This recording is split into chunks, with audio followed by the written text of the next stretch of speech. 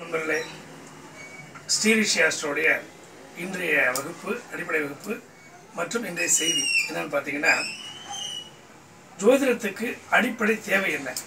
ஜோதிடத்துடைய முக்கிய காரணிகள் என்ன அப்படிங்கிறத பார்க்க போகிறோம் இன்னைக்கு. பார்த்தீங்கன்னா ஐம்பூதம் அண்டத்தில் உள்ளதே பிண்டம். பிண்டத்தில் உள்ளதே அண்டம்.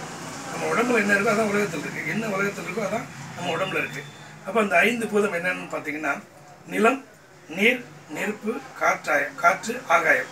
இந்த ஐந்து தான் பூதங்கள் அதே மாதிரி நான்கு தத்துவங்கள். அது என்னன்னு பார்த்தீங்கன்னா நிலத்தத்துவம் நீர் தத்துவம் காற்று தத்துவம் நெருப்பு தத்துவம்.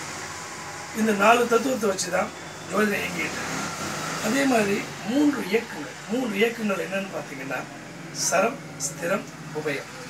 இப்போ சரம் அப்படின்னு பார்த்தீங்கன்னா அதுக்கு ஒரு நாலு ராசி இருக்குது மேஷம் கடகம் துலாம் மகரம். அதே மாதிரி ஸ்திர ராசிகள் பார்த்தீங்கன்னா ரிஷபம் சிம்மம் விருச்சகம் கும்பம். உபய ராசிகள் பார்த்தீங்கன்னா மிதுனம் கன்னி தனுசு மீனம். இதில் ஒன்றும் இல்லை.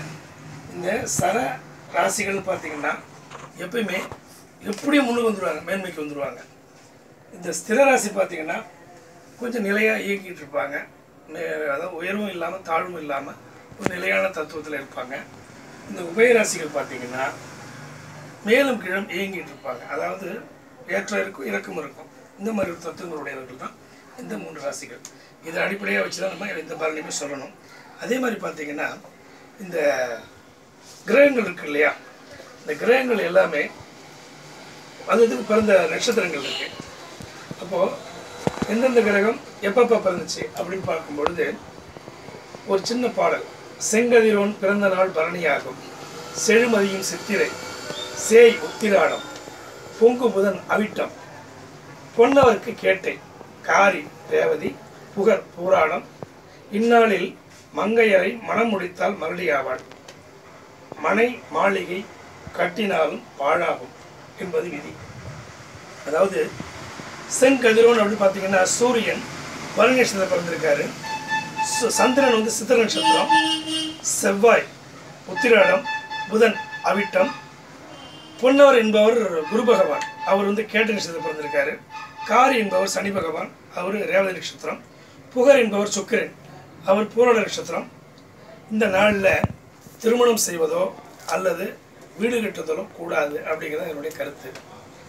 இதோட இப்போ நம்ம நாளைக்கு மறுநாள் அதாவது திங்கட்கிழமை அன்னைக்கு காலையில் நமக்கு சொர்க்கவாசல் திறக்குது.